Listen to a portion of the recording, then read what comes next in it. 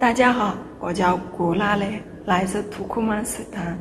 作为一个生活在中国的年轻人，我深深地感受到“一带一路”带来的深刻影响和变革。自从中国政府提出“一带一路”倡议以来，这个世界就开始越来越正面，越来越没有国界。在这个背景下，我与“一带一路”的故事因此展开。我成为一个国际学生，设法流遍国内的每个角落，同时也开始关注那些参与“一带一路”相关的活动和项目。我开始彼此了解对方的文化、历史、语言和生活方式。站在这里，回望历史，你将看到一个复杂简直的世界，大鱼有大鱼之间的相互影响。重要。大草原发生的事情，曾经能影响北非。这些战争根据着上游，呃，朝圣者无人的随机，通过一个两千就声望的网络蔓延到世界的各地，而这网络就是。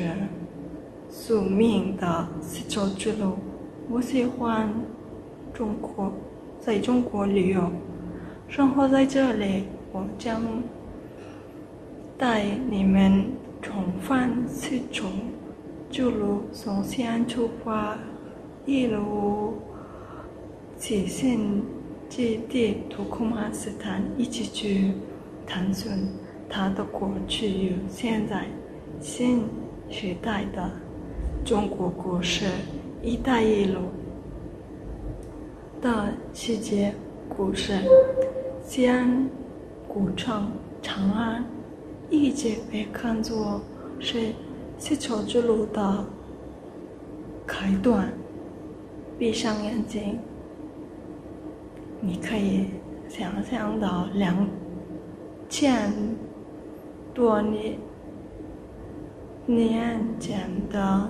长安、武昌、水河等繁荣繁荣街上商户往来，他们可能来自亚洲不同的地方，比如当时的日本籍高丽在长安的城市，甚至有许多的。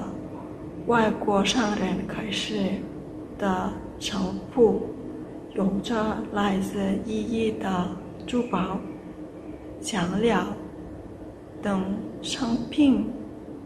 其实是如今的西安，你还可能看到长江贸贸易往来留下。的痕迹，难有可能成为虎病起源于汉唐的时期，是通过当年秦明丝绸之路的粟特人转入的重要美食。东西方之间的商业。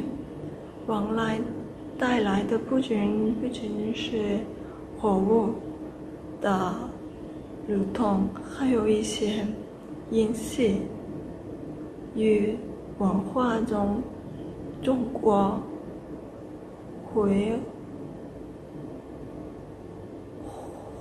辉煌灿烂啊的历史留下多样的。异域的风景。总的来说，我对于“一带一路”的故事充满了热情和挑战，也充满了无限可能性。这个倡议不仅为国家各个的地区带来了巨大的机机遇，也是全世界的人们更加关注合作，思考如何共同过建人。类命运共同体，我深深相信“一带一路”不仅是中国的未来，也是我们这个世界的未来。谢谢大家。